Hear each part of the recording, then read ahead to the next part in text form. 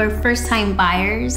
This whole new community is brand new to us. And the minute we walked in, I was like, this is our home. We looked at every single used home around us. I believe we've seen a lot of houses. I want to say how many houses? About 32 houses. About 32 If not houses. 33, but yeah, 32. You're gonna make me cry. Oh my gosh.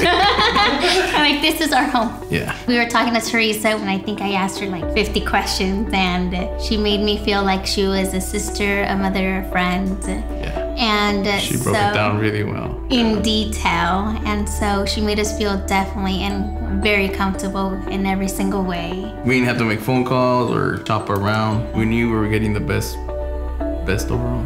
We're here because we definitely trusted Miss Teresa to be here and to lead us a very good way.